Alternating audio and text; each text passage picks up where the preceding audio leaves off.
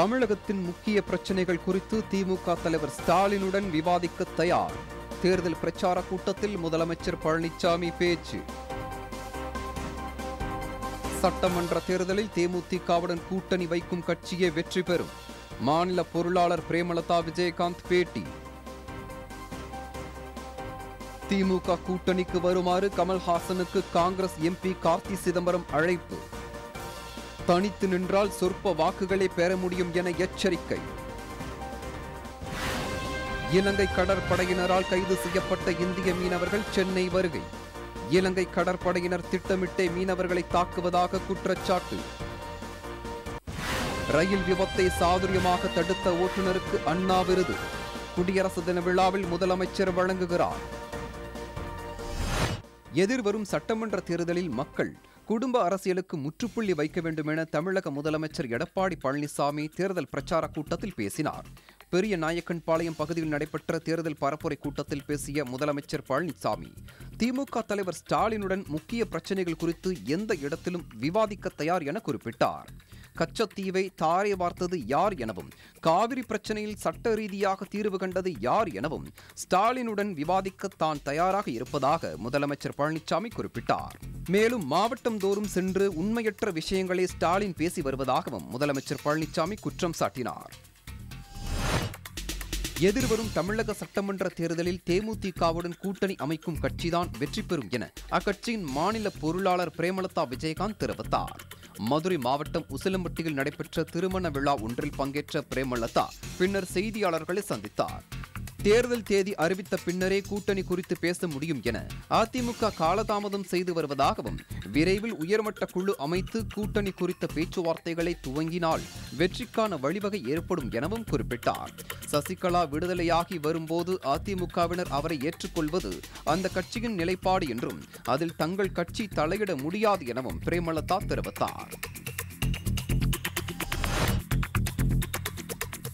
இலங்கை கடற்படையினரால் கைது செய்யப்பட்ட இந்திய மீனவர்கள் சென்னை வந்தடைந்தனர்.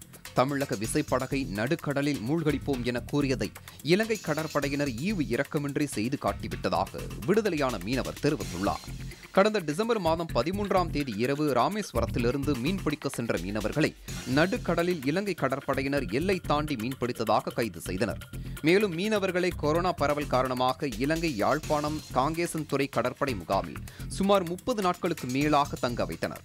இந்நிலையில் கடந்த பதிமூன்றாம் தேதி ஊர்காவல்துறை நீதிமன்ற நீதிபதியால் விடுதலை செய்யப்பட்டு விமானம் மூலம் மீனவர்கள் சென்னை வந்தடைந்தனர்.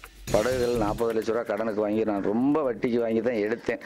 என் படகு வரவில்லை என்றால் என் வாழ்வாதாரம் மிகவும் ரொம்ப மோசம். ஆனால் இந்த படகு இல்லாட்டா எந்த வழியில் நான் தப்பிக்கொள்ள முடியாது. என் படகை மீட்டி தருமாறி ரொம்ப இதோட கேட்டுக்கொள்கிறேன். இல்லாட்ட எனக்கு வேற வழியே தெரியல. விடுதலை செய்யப்பட்ட மீனவர்களுள் ஒருவரான சுரேஷ் என்பவர் தனது நாற்பது லட்சம் மதிப்பிலான மீன்பிடி விசைப்படகை இலங்கை அரசுடைமையாக்கி உத்தரவிட்டதாகவும் அரசுடைமையாக்கப்பட்ட படகை விடுவிக்க மத்திய மாநில அரசுகள் நடவடிக்கை எடுக்க வேண்டும் எனவும் கோரிக்கை விடுத்தார். தமிழக படகுகள் மீது கப்பலை கொண்டு மோதி மூழ்கடிக்க செய்து விடுவோம் என இலங்கை கடற்படையினர் அப்போது எச்சரித்ததாகவும் அவர்கள் கூறியவாறே இரக்கமின்றி கோட்டைப்பட்டினத்திலிருந்து மீன்பிடிக்க சென்ற மீனவர்கள் மீது கொடூர சம்பவத்தை அரங்கேற்றியுள்ளதாகவும் தெரிவித்தார். தெரிவித்தார் நடிகரும் மக்கள் நீதி மையம் கட்சியின் தலைவருமான கமல்ஹாசனின் கொள்கை மத சார்பின்மையை சார்ந்து இருப்பதால் அவர் திமுக காங்கிரஸ் கூட்டணிக்கு வர வேண்டும் என நாடாளுமன்ற காங்கிரஸ் உறுப்பினர் கார்த்தி சிதம்பரம் அழைப்பு விடுத்துள்ளார். கமல் தொடர்ந்து அரசியலில் நீடிக்க வேண்டுமென்றால் தேர்தலில் சாதுரியமான முடிவுகளை எடுக்க வேண்டும் எனவும் தனியாக தேர்தலை சந்தித்தால் சொற்ப வாக்குகளை மட்டுமே பெற முடியும் என்றும் கார்த்தி சிதம்பரம் குறிப்பிட்டார். காவல்துறையினரிடமிருந்து தங்களை பாதுகாத்துக் கொள்ள நினைப்பவர்கள் மட்டுமே பாரதிய ஜனதாவில் தஞ்சம் அடைகின்றனர் என கூறிய கார்த்தி சிதம்பரம் அக்கட்சியின் கொள்கைகளை கடுமையாக விமர்சித்தார். ராஜீவ்காந்தி கொலை வழக்கில் தண்டனை பெற்றவர்களை குறிப்பிட்ட காலத்திற்கு பிறகு விடுதலை செய்யலாம் என்ற நிலையில் சட்ட ரீதியாக விடுதலை செய்வதில் யாருக்கும் எவ்வித ஆட்சேபனையும் இருக்காது எனவும் கார்த்தி சிதம்பரம் தெரிவித்தார். ரயில் பாதையில் கிடந்த பாராங்கல்லை பார்த்ததும் அதிவேகத்தில் சென்று கொண்டிருந்த ரயிலை மிகவும் சாதுரியமாக நிறுத்தி பெரும் விபத்தை தவிர்த்த ரயில் ஓட்டுநருக்கு இந்த ஆண்டிற்கான அண்ணா விருது வழங்கப்படுகிறது. கடந்த ஆண்டு நவம்பர் மாதம் பத்தொன்பதாம் தேதி மதுரையிலிருந்து சென்னை நோக்கி சென்ற வைகை எக்ஸ்பிரஸ் ரயில் பாதையில் இரண்டு பாராங்கற்கள் வைக்கப்பட்டிருந்தது. அந்த ரயிலின் ஓட்டுநர் சுரேஷின் பார்வையில் பட்டது. ரயிலின் வேகத்தை உடனடியாகவும் மிகவும் சாதுரியமாகவும் குறைத்து வண்டியை பாறைகளின் மீது மோதாமல் நிறுத்தினார் ஓட்டுநர் சுரேஷ். இதன் மூலம் பெரும் விபத்து தவிர்க்கப்பட்டதோடு சுமார் ஆயிரத்து ஐநூறு பயணிகள் காப்பாற்றப்பட்டனர். இந்த வீரதீர செயலை பாராட்டும் வகையில் தமிழக அரசு சார்பில் வழங்கப்படும் அண்ணா விருது ஓட்டுநர் சுரேஷிற்கு இந்த ஆண்டு வழங்கப்படுகிறது.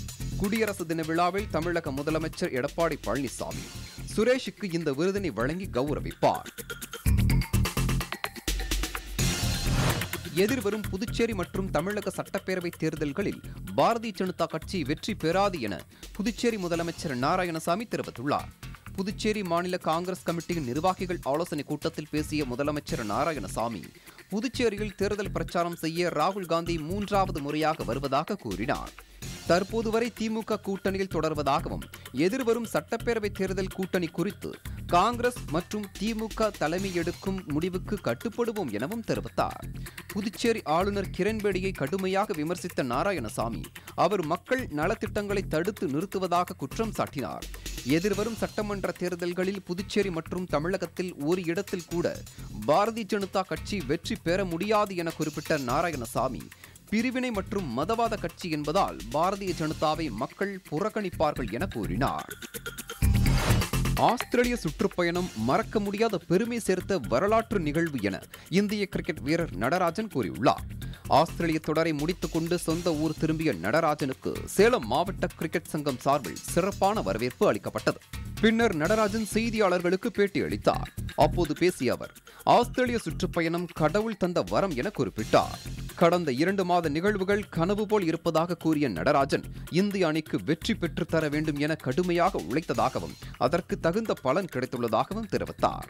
கடின உழைப்புடன் செய்யும் பணியில் கவனத்துடனும் ஈடுபாட்டுடனும் இருப்பதே வெற்றியின் ரகசியம் என கூறிய நடராஜன் தன்னை உற்சாகப்படுத்திய தமிழக மக்களுக்கும் கிரிக்கெட் சங்கங்களுக்கும் நன்றி தெரிவித்தார்.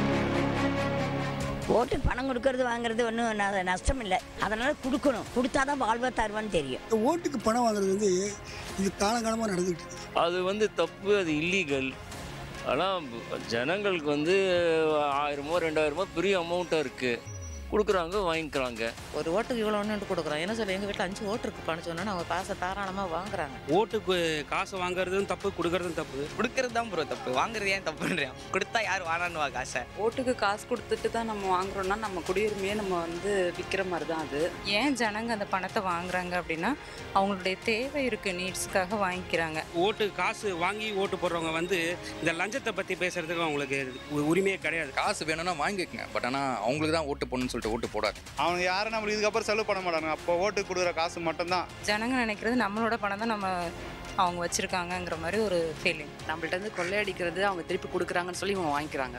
கரெக்டா ரெண்டுமே தப்பு தான் ஜெயிக்கிறதுக்காக அவங்க கொடுக்குறாங்க. நம்மளுக்காக நம்ம வாங்குறோம். வாங்குறவன்ட்டு நம்ம சொன்னாலும் கேட்க மாட்டாங்க. ஏன்னா நீ நீ உத்தமனா இருந்துக்க? நான் வாங்க மாட்டேன் அப்படிங்குவாங்க உங்களுக்கு தேவை என்னது? ஒரு கோட்டர் ஒரு பிரியாணி ஸோ அதுக்காக ஒரு ஃபைவ் ஹண்ட்ரட் ருபீஸ் கொடுக்குறாங்க அப்படின்னாக்கா நீங்கள் அதுக்கப்புறம் அதுக்காக நீங்கள் ஃபைவ் தௌசண்ட் ருபீஸ் நீங்கள் லாஸ் பண்ணுறதுக்கும் ரெடியாக இருந்துக்கோங்க. என்ன பண்ண முடியும்? நம்ம சிஸ்டம் அந்த மாதிரி. கொடுக்க வராங்க அப்படிங்கும்போது அதை வந்து எவ்வளோ எவ்வளோ நம்ம அவாய்ட் பண்ணமோ அதை அவாய்ட் பண்ணிக்கணும். அதை நம்ம வாங்கவும் கூடாது மித்தவங்க மேலே அதை திணிக்கவும் கூடாது. நீ ஏதோ ஒரு மாற்றம் வரணும்னு நீங்கள் நினச்சிங்கன்னா அந்த மாற்றம் நம்மக்கிட்ட இருந்து ஆரம்பிக்கணும். அந்த மாற்றத்தை நீங்களா இருங்கன்னு சொல்லிக்கிறேன்.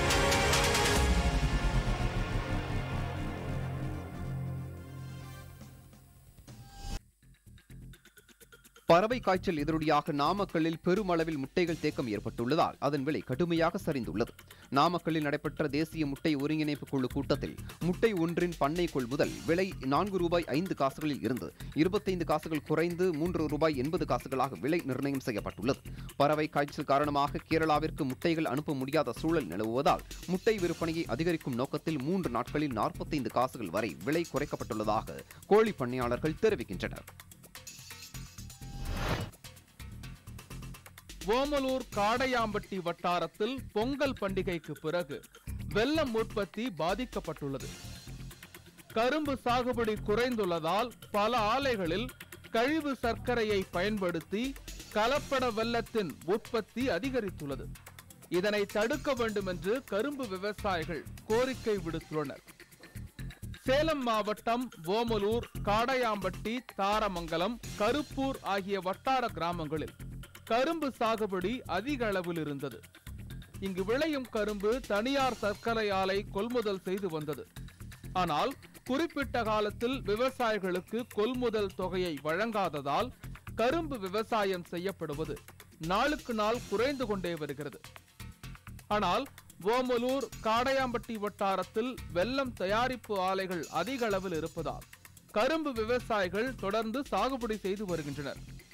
பொங்கல் பண்டிகை காலத்தில் வெள்ள உற்பத்தி அதிகமாக இருந்ததால் ஆலை உரிமையாளர்கள் தொழிலாளர்கள் விவசாயிகள் என அனைவரும் பலனடைந்தனர். ஆனால் தற்போது பொங்கல் பண்டிகை முடிந்துள்ள நிலையில் வெள்ளத்தின் தேவையை அறிந்து அதற்கேற்ப வெள்ளம் உற்பத்தி செய்து வருகின்றனர். அதனால் வெள்ள மண்டிகளுக்கு வெள்ளத்தின் வரத்து குறைந்த அளவிலேயே உள்ளது. ஆனாலும் வெளிமாநில நுகர்வு இருப்பதால் காடையாம்பட்டி ஓமலூர் வட்டாரத்தில் தொடர்ந்து கரும்பு ஆலைகளில் வெள்ளம் உற்பத்தி நடைபெற்று வருகிறது. இதில் சில ஆலைகளில் தொடர்ந்து வெள்ளை கழிவு சர்க்கரையை கரைத்து கலப்பட வெள்ளம் உற்பத்தி செய்யப்பட்டு வருகிறது. இந்த வெள்ளத்தை வெள்ளையாக தயாரித்து விற்பனை செய்வதால் மக்கள் பெரிதும் பாதிக்கப்பட்டு வருகின்றனர். பல்வேறு நோய் தாக்குதலுக்கும் ஆளாகி வருகின்றனர். அதனால் கழிவு சர்க்கரையை கரைத்து வெள்ளம் தயாரிப்பதை உணவு பாதுகாப்புத்துறை அதிகாரிகள் கண்காணித்து தடுக்க வேண்டும் என்று கோரிக்கை விடுக்கப்பட்டுள்ளது. இது குறித்து கரும்பு விவசாயிகள் கூறும்போது வெள்ளத்துக்காக கரும்பு இயந்திரம் மூலம் சாறு பிழியப்பட்டு பாகு காய்ச்சப்படுவதாகவும் இந்த பாகில் குறிப்பிட்ட சதவீதம் சுண்ணாம்பு கரைசல் கலக்கப்பட்டு வெள்ளம் முருட்டப்படுவதாகவும் தெரிவிக்கின்றனர். மேலும் ஒரு உருண்டை வெல்லம் ஏறத்தாழ அரை கிலோ எடையுடன் தயாரிக்கப்படுவதாகவும் சில விவசாயிகள் அச்சு மூலம் வெள்ளக்கட்டிகளை தயாரிப்பதாகவும் கூறுகின்றனர். வெள்ளத்தில் சுண்ணாம்பு இரும்பு சத்துக்கள் ஏராளமாக உள்ளது. நல்ல வெள்ளம் பழுப்பு அல்லது அடர் மஞ்சளுடன் கூடிய பழுப்பு நிறத்தில் இருக்கும் என்பதால் மக்கள் இது போன்ற வெள்ளத்தை வாங்கி பயன்படுத்த வேண்டும் என்று கோரிக்கை விடுத்துள்ளனர்.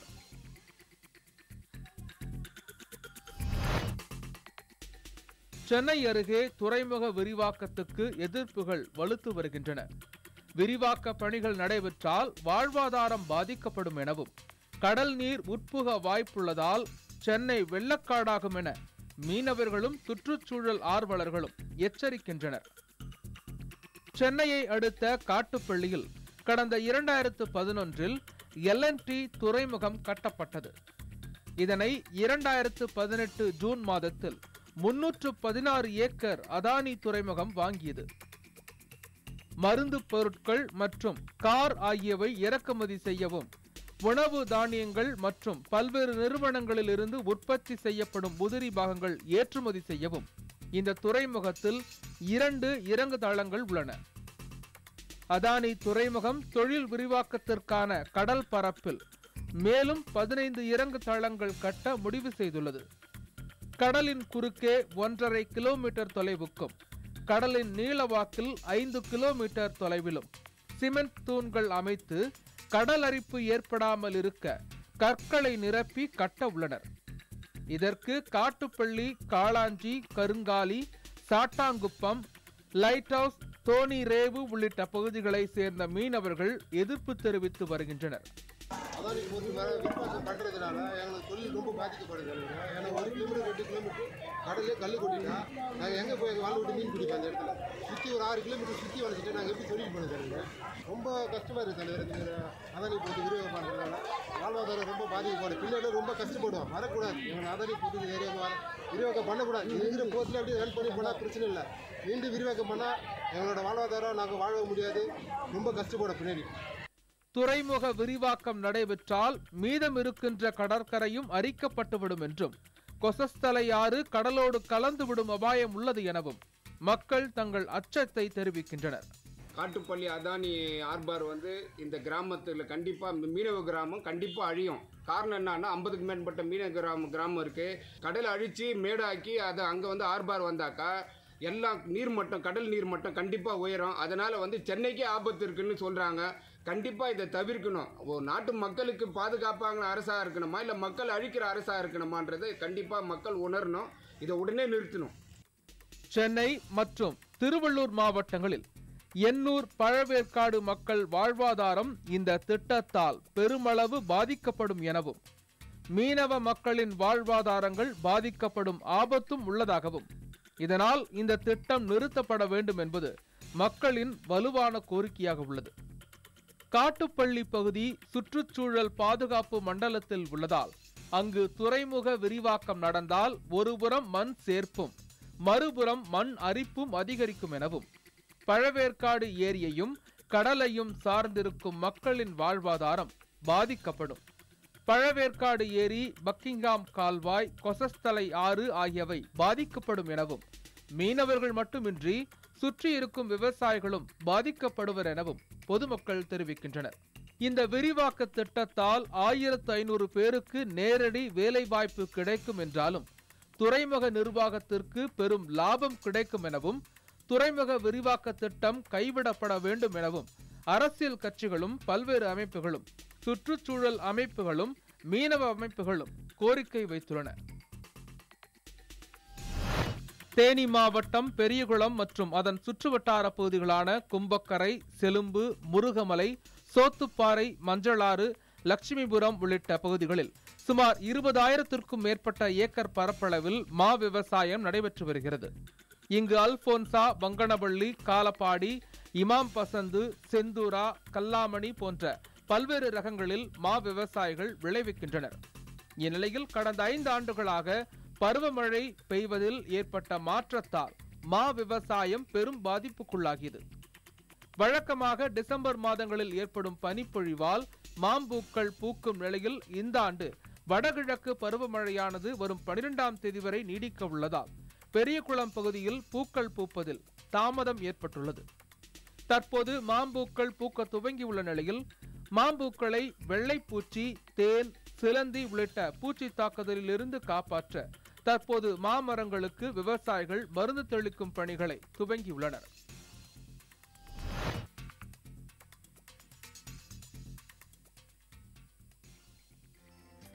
ஓமலூர் நகர் மற்றும் வட்டார பகுதிகளில் பல இடங்களில் சட்டவிரோதமாக மது விற்பனை நடைபெறுவதால் டாஸ்மாக் பார் விற்பனை சரிவதாக பார் உரிமையாளர்கள் புகார் தெரிவித்து வருகின்றனர். சேலம் மாவட்டம் ஓமலூர் நகரிலும் நகரை ஒட்டியுள்ள பகுதிகளிலும் எட்டு டாஸ்மாக் மது கடைகள் உள்ளன. இந்த கடைகளில் தினமும் லட்சக்கணக்கில் மது விற்பனை நடைபெற்று வருகிறது. இங்குள்ள டாஸ்மாக் பார்களில் இருபத்து நான்கு மணி நேரமும் சட்டவிரோதமாக மதுபானங்கள் விற்பனை செய்யப்படுகிறது. அதே போல ஓமலூர் நகரில் மட்டும் நூற்றுக்கும் மேற்பட்ட இடங்களில் சிறு கடைகள் உள்ளன. அதே போல கிராமப்புற பகுதிகளிலும் அதிக இடங்களில் இருபத்து நான்கு மணி நேரமும் மதுபானம் விற்பனை செய்யப்பட்டு வருகிறது. இதை கண்டுகொள்ளாமல் இருப்பதற்காக உள்ளூர் போலீசார் மதுவிலக்கு போலீசார் போலீஸ் உயரதிகாரிகள் டாஸ்மாக் அதிகாரிகள் மற்றும் முக்கிய அரசியல் பிரமுகர்கள் அனைவருக்கும் தரகர்கள் மூலம் மாதந்தோறும் லஞ்சம் தரப்படுவதாக கூறப்படுகிறது. அதே போல ஒவ்வொரு பாருக்கும் இருபதாயிரம் முதல் முப்பதாயிரம் ரூபாய் வரை தரகர்கள் மூலம் வசூல் செய்யப்படுவதாகவும் புகார் எழுந்துள்ளது. காலையில் டீ கடை திறக்கும் முன்பே பல கடைகளில் பார்கள் திறக்கப்பட்டு விடுவதாகவும் அங்கு கலப்பட மதுபானமும் விற்பனை செய்யப்படுவதாகவும் கூறப்படுகிறது. மேலும் டாஸ்மாக் கடைகளை விட இதுபோன்ற சிறு சிறு கடைகளில் மதுபானம் இரண்டு மடங்கு கூடுதல் விலைக்கு விற்பனை செய்யப்படுகிறது. தனியார் பார்களும் இருபத்தி நான்கு மணி நேரமும் செயல்படுவதால் போதை நபர்களின் அட்டகாசத்தால் பெண்கள் சாலையில் நிம்மதியாக நடந்து செல்ல முடியாத நிலை உள்ளது.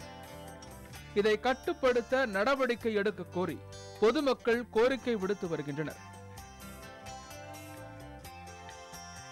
ஆனால் ஓமலூர் வட்டாரத்தில் அவ்வப்போது கைது கணக்கு காட்டுவதற்காக ஒரு சில சரக்கு பாட்டில்களை பறிமுதல் செய்து பெயரளவுக்கு வழக்கு பதிவு செய்கின்றனர். தற்போது மாவட்டம் முழுவதும் சிறு சிறு கடைகளில்தான் மதுபானங்கள் அதிக அளவில் விற்பனை செய்யப்பட்டு வருகிறது.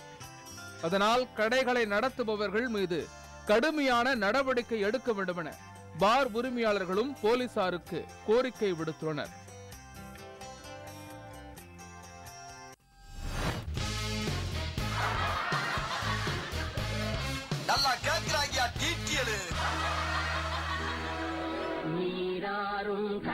கொடுத்த நிலமடந்தை செழிலொழுகும்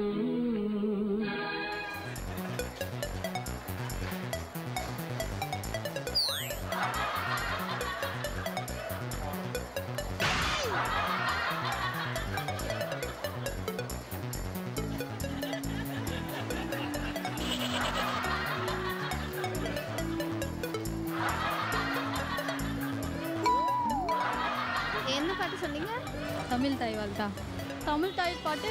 டெய்லியும் காலேஜில் போடுவாங்க. ஆமாம் நீரார கடலோட பாடல் எழுதுனதா அது எல்லாமே எழுதுனது யாரும் கேட்குறீங்க படிச்சது தான் அந்த ஞாபகம் இல்லை. அவங்க பேரு? சத்தியமாக தெரியாது. தமிழ் தாய் வாழ்த்து. என்ன கொடுங்க ஜனநமனர் யாருன்னு யாருன்னு கேட்டுங்க. இல்லை நீர் கொடுத்த இவர் வந்து இவர் கேளுங்க அப்புறம் சொல்கிறோம் என்னப்பா கோர்த்து வருவியா சரியா தெரியல ஞாபகம் வர மாட்டேங்க நல்லா ஈஸியாக அந்த கத்தி பத்துலேருந்து இல்லை. ரவீந்திரநாத் தாகூர். ரவீந்திரநாத் தாகூர். ரவீந்திரநாத் தாகூர். ரவீந்திரநாத் தாகூர். ரவீந்திரநாத் தாகூர் இல்லை.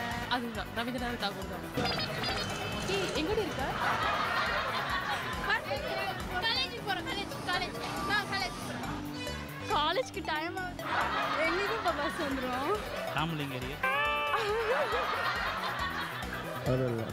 விநாயகம் பிள்ளை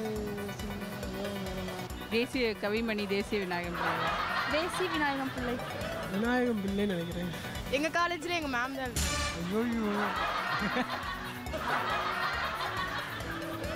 இதெல்லாம் கேட்காதீங்க.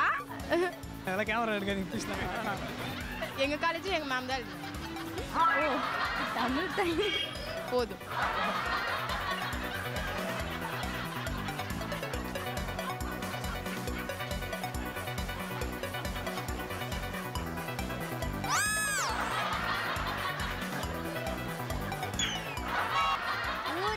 சிரிக்குது என்ன நீங்க அசிங்கப்படுத்துறதுக்கு கேட்குறீங்க சாரி எனக்கு இப்போ ரொம்ப பிளாங்கா இருக்கு. பாரதிதா பாரதியார் பாவேந்தர் பாரதிதாசன் கவிஞர் வாலி ஐயோ தெரியாது. கவிஞர் வாலியாங்க பாரதியார். பாரதியார். மாணிக்கவாசர் வாவுசி உங்கள் அப்பா தான் கண்டிப்பாக சின்ன க்ளூ மனோன்மணியம். மனோர்மணியம் மனோர்மணியம் சுந்தரப்பிள்ளை. மனோன்மணி சுந்தரம் பிள்ளை. மனமணியம் பே சுந்தரன். நீராறும் கடலில் எடுத்தால் மனோன்மணியம் பே சுந்தரனார்.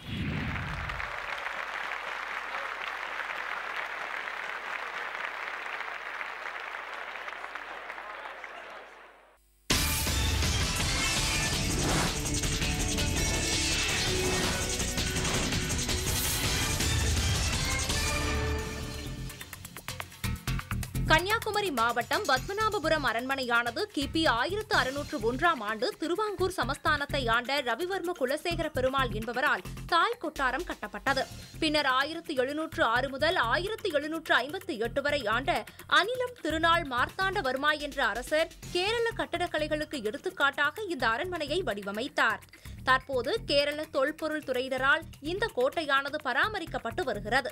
இங்கு நாள்தோறும் ஆயிரக்கணக்கான வெளிநாடு மற்றும் உள்நாடு சுற்றுலா பயணிகள் அரண்மனையில் மன்னர் காலத்தில் பயன்படுத்தி வந்த வாள் கத்தி துப்பாக்கி மேலும் அரண்மனையின் கட்டிடக்கலை ஆகியவற்றோடு மந்திர சாலை தாய் கொட்டாரம் நாடக சாலை நான்கடுக்கு மாளிகை தெற்கு கொட்டாரம் மணி மாளிகை அன்னதான மண்டபம் போன்ற பழங்காலத்து கட்டிடக்கலைகளை பார்த்து ரசித்துச் சென்ற நிலையில் கொரோனா ஊரடங்கால் கழிந்த மார்ச் மாதம் முதல் மூடப்பட்ட அரண்மனை கடந்த நவம்பர் மூன்றாம் தேதி முதல் பல்வேறு கட்டுப்பாடுகளுடன் திறக்கப்பட்டு சுற்றுலா பயணிகள் அனுமதிக்கப்பட்டுள்ளனர்.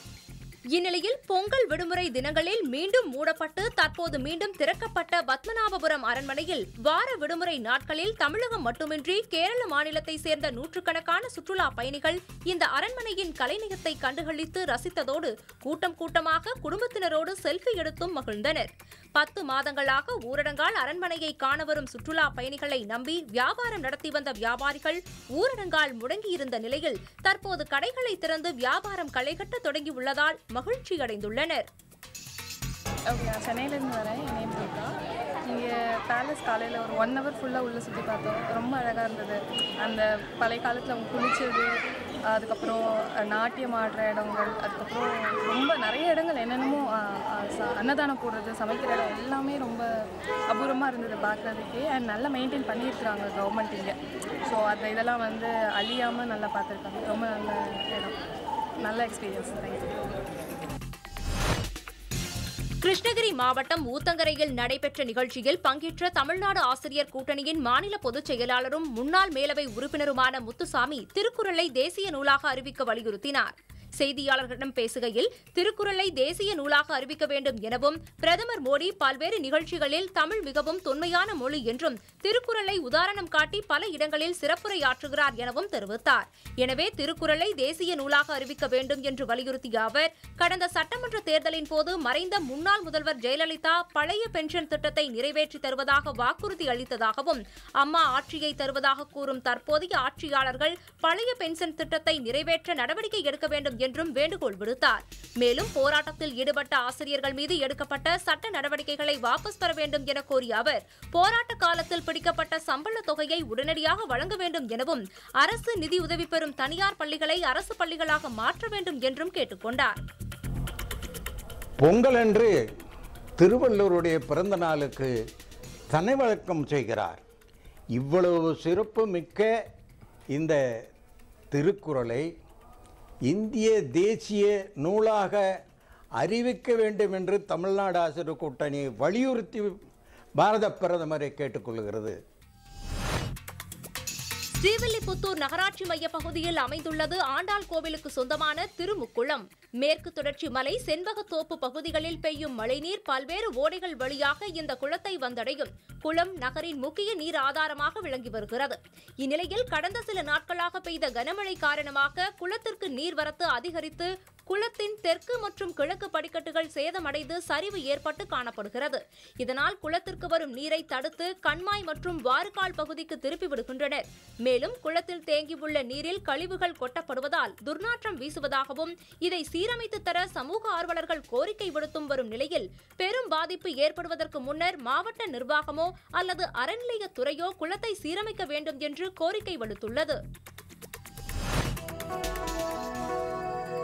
நீலகிரி மாவட்டம் கோத்தகிரி அருகே அமைந்துள்ள கொணவக்கரை பஞ்சாயத்துக்குட்பட்ட கணுவட்டி பகுதியில் விவசாய நிலங்களை சிலர் குறைந்த விலைக்கு வாங்கி கட்டடங்களை கட்டி மின்வேலி அமைத்தும் வியாபார ரீதியாக தங்கும் விடுதிகள் அமைத்தும் செயல்பட்டு வருகின்றனர்.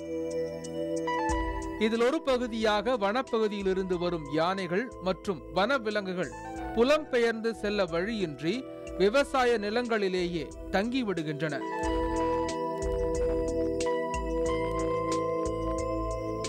சில உரிமையாளர்கள் பல ஆண்டுகளுக்கு முன்பே பயன்படுத்தி வந்த வழித்தடங்களை மறித்து தனியார் மின்வேலி அமைத்துள்ளதால் விவசாய நில உரிமையாளர்கள் வாழ்வாதாரம் இழந்து பாதிக்கப்பட்டுள்ளனர். தனியார் நிலங்களில் யானைகள் புகுந்ததால் அவை தாக்கப்படும் அபாயம் இருக்கும் சூழலில் இதுபோன்ற மின்வேலிகளை வனத்துறையினர் ஆய்வு செய்து இவை பேட்டரியால் இயங்குகிறதா அல்லது மின்சாரம் மூலம் இணைக்கப்பட்டுள்ளதா என்று ஆய்வு செய்து உடனடி நடவடிக்கை எடுக்க வேண்டும் என்பதே இப்பகுதி மக்களின் கோரிக்கையாக உள்ளது. வனப்பகுதியிலிருந்து யானைகள் வந்து ஊருக்குள்ளே பூந்து நிறைய சேதத்தை ஏற்படுத்திட்டு இருக்கு. இதை வந்து வனத்துறை வந்து முழுமையாக துரத்துறதில்ல. இதனால் பாருங்கள் போன வாரத்தில் கூட யானைகள் வந்து அவாக்கா ஆர்ச்செடின் பக்கமெல்லாம் ஒரே கலாட்டாவை பண்ணியிருக்குது. நேற்று பார்த்தீங்கன்னா நம்ம கரும்பாலத்தில் லட்சுமி அம்மாங்கிற வீடு பாருங்கள் அதான் பாருங்கள் அந்த வீட்டை இடித்து நாஸ்து பண்ணி போயிருக்குது. ரேஷன் கடையை உடச்சிருக்குது. இதை வந்து வனத்துறை வந்து முழுமையாக துரத்துறதில்ல. தயவு செய்து மாநில நிர்வாகம் மாவட்ட நிர்வாகம் இதை துரிதமாக நடவடிக்கை எடுத்து அந்த யானைகளை துரத்துறதுக்கான நடவடிக்கை எடுக்குமாறு கேட்டுக்கொள்கிறோம்.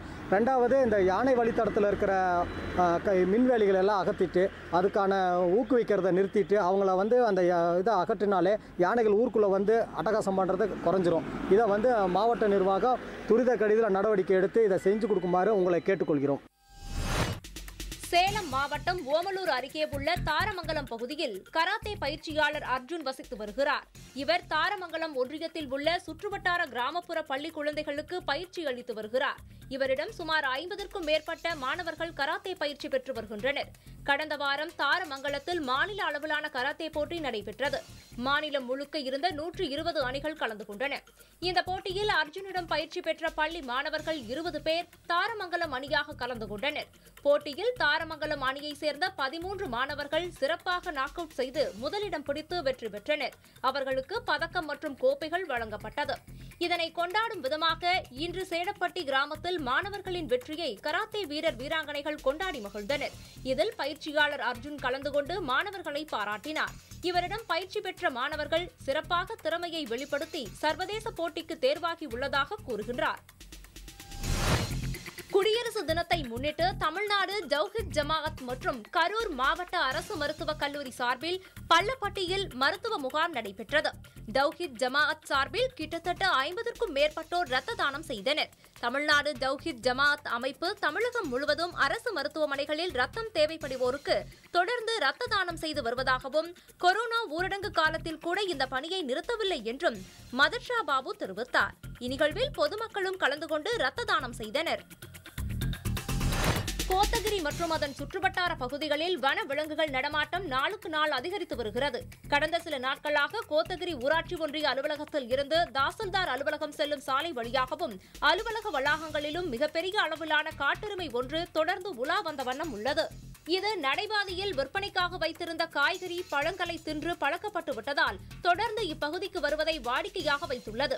அங்குள்ள பொதுமக்களும் வாகன ஓட்டிகளும் காட்டெருமையை விரட்ட பல்வேறு முயற்சிகள் செய்தும் மீண்டும் மீண்டும் இப்பகுதிக்கு அந்த காட்டெருமை வந்து செல்வதால் வனத்துறையினர் இதை பிடித்து அடர்ந்த காட்டுக்குள் விட நடவடிக்கை எடுக்க வேண்டும் என்று அப்பகுதி மக்கள் கோரிக்கை விடுத்துள்ளனர்.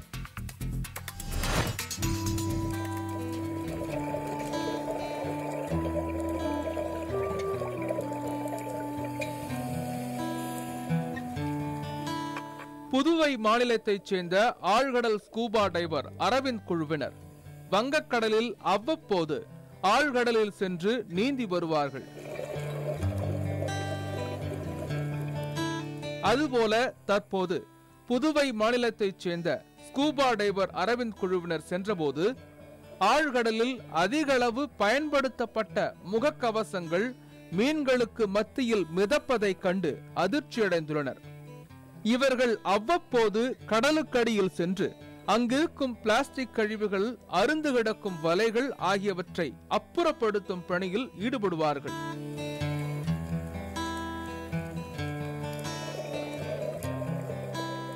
அதுபோல தற்போது சென்றபோது பிளாஸ்டிக்கு இணையாக பயன்படுத்தப்பட்ட முகக்கவசங்களும் அதிகம் இருந்தது அவர்களை அதிர்ச்சியடைய செய்துள்ளது.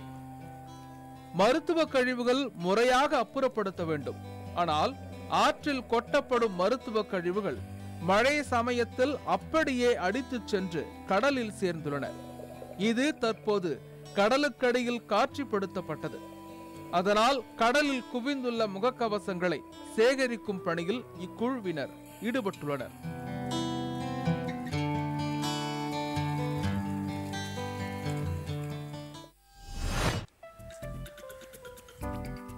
ஊராட்சியின் குப்பைகளை கொட்டி குளத்தை மாசுபடுத்தி வரும் ஊராட்சி நிர்வாகம். குளத்தில் கொட்டப்படும் குப்பைகளால் நீர் மாசடைவதுடன் துர்நாற்றம் வீசுவதால் குளத்து பகுதியில் கொட்டப்பட்ட குப்பைகளை அகற்ற மாவட்ட நிர்வாகம் நடவடிக்கை எடுக்க வேண்டுமென விவசாயிகள் கோரிக்கை விடுத்துள்ளனர். தேனி மாவட்டம் பெரியகுளம் அருகே உள்ள லட்சுமிபுரம் ஊராட்சிக்குட்பட்ட பகுதியில் நாள்தோறும் சேகரிக்கப்படும் குப்பைகளை ஊரின் அருகே உள்ள குளத்தின் உட்பகுதி மற்றும் குளத்து கரைகளில் ஊராட்சி நிர்வாகம் கொட்டி வருவதாக விவசாயிகள் குற்றம் சாட்டுகின்றனர். ஊராட்சி நிர்வாகத்தால் கொட்டப்படும் குப்பைகளால் குளத்தில் உள்ள நீர் மாசடைவதுடன் குப்பைகளில் உள்ள பிளாஸ்டிக் கழிவுகளால் நிலத்தடி நீர் மட்டமும் பாதிக்கப்படுவதாக விவசாயிகள் வேதனை தெரிவிக்கின்றனர். மேலும் குளத்தில் கொட்டப்படும் குப்பைகள் குறித்து ஊராட்சி மன்ற செயல் அலுவலரிடம் புகார் கொடுத்தாலும் அதை அலட்சியப்படுத்துவதாக விவசாயிகள் குற்றம் சாட்டுகின்றனர். எனவே மாவட்ட நிர்வாகம் உரிய நடவடிக்கை எடுத்து நீர்நிலைகளை பாதுகாக்க கொட்டப்பட்ட குப்பைகளை அகற்ற நடவடிக்கை எடுக்க வேண்டும் எனவும் குளத்தில் குப்பைகளை கொட்டி வரும் ஊராட்சி நிர்வாகத்தின் மீது உரிய நடவடிக்கை எடுக்க வேண்டும் என விவசாயிகள் கோரிக்கை விடுத்துள்ளனர். இதுகுறித்து பெரியகுளம் பொதுப்பணித்துறை அதிகாரியிடம் தொடர்பு கொண்டு கேட்டபோது ஊராட்சி நிர்வாகம் குளத்தில் குப்பைகளை கொட்டுவதை தடுக்க நடவடிக்கை எடுப்பதாக தெரிவித்தார்.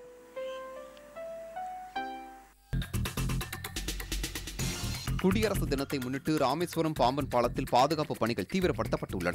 இந்தியாவின் எழுபத்தி இரண்டாவது குடியரசு தின விழாவை சீர்குலைக்கும் வகையில் தமிழகத்திற்குள் தீவிரவாதிகள் ஊடுருவ வாய்ப்புள்ளதாக வெளியான தகவலை அடுத்து தலைநகரங்களில் பாதுகாப்பு பலப்படுத்தப்பட்டுள்ளது. ராமேஸ்வரம் அதிக சுற்றுலா பயணிகள் வருகை தரும் இடம் என்பதால் பாதுகாப்பு வலயத்திற்குள் கொண்டுவரப்பட்டுள்ளது. இதனிடையே கமாண்டோ படையினர் மற்றும் பட்டாலியன் படை போலீசார் பாம்பன் ரயில் பாலத்தில் ஆயுதம் ஏந்திய ரோந்து பணியில் ஈடுபட்டுள்ளனர். நாமக்கல் மாவட்டம் குமாரபாளையம் வட்டத்தில் தமிழர்களின் வீர விளையாட்டான ஜல்லிக்கட்டு போட்டி விறுவிறுப்பாக நடைபெற்றது. மாவட்ட ஆட்சியர் மெகராஜ் தலைமையில் நடைபெற்ற இந்த போட்டியை அமைச்சர்கள் செங்கோட்டையன் தங்கமணி சரோஜா கே சி கருப்பண்ணன் ராதாகிருஷ்ணன் விஜயபாஸ்கர் உள்ளிட்டோர் தொடங்கி வைத்தனர். போட்டியில் ஐநூற்று தொண்ணூறு காளைகளும் முன்னூறு மாடுபிடி வீரர்களும் பங்கேற்றனர். வாடிவாசல் வழியாக சீறி பாய்ந்த காளைகளை அடக்கிய வீரர்களுக்கு விதவிதமான பரிசுப் பொருட்கள் வழங்கப்பட்டன. விருதுநகர் மாவட்டம் ராஜபாளையத்தில் ஜவுளி வர்த்தகர்கள் அறக்கட்டளையின் முப்பதாவது ஆண்டு விழா நடைபெற்றது. இந்த நிகழ்ச்சியில் ஜவுளி கடை உரிமையாளர்கள் நாற்பதற்கும் மேற்பட்டோர் கலந்து கொண்டனர். இந்நிகழ்ச்சியில் அறக்கட்டளையின் திட்டங்கள் செயல்பாடுகள் குறித்து விவாதிக்கப்பட்டன. இவ்விழாவில் அரசு பள்ளியில் பயின்று மருத்துவக் கல்லூரியில் இடம்பெற்ற மாணவி திவ்யலட்சுமிக்கு ஐம்பத்தி ஆறாயிரம் ரூபாய் நிதி உதவியும் சமூக சேவையில் ஈடுபடும் பத்து தொண்டு நிறுவனங்களைச் சேர்ந்தவர்களுக்கு நினைவு பரிசும் வழங்கி பாராட்டு தெரிவிக்கப்பட்டது. மத்திய அரசு கொண்டு வந்துள்ள மூன்று புதிய வேளாண் சட்டங்களுக்கு எதிர்ப்பு தெரிவித்து டெல்லியில் வருகிற இருபத்தி ஏழாம் தேதி விவசாயிகள் டிராக்டர் பேரணி நடத்த திட்டமிட்டுள்ள நிலையில் அவர்களுக்கு ஆதரவாக தமிழகத்தின் பல்வேறு பகுதிகளிலும் அரசியல் கட்சியினரும் விவசாயிகளும் டிராக்டர் பேரணி நடத்த திட்டமிட்டுள்ளதாக கூறப்படுகிறது. இந்நிலையில் கொரோனா பாதிப்பு காரணமாக ஊரடங்கு உத்தரவு அமலில் உள்ளதால் புதுக்கோட்டை மாவட்டத்தில் வருகின்ற இருபத்தி ஆறாம் தேதி அனுமதியின்றி டிராக்டர் பேரணி நடத்த தடை விதிக்கப்பட்டுள்ளதாகவும் தடையை மீறி பேரணியில் ஈடுபடுவோர் மீது கடும் நடவடிக்கை எடுக்கப்படும் என்று புதுக்கோட்டை எஸ்பி பாலாஜி சரவணன் அறிவித்துள்ளார்.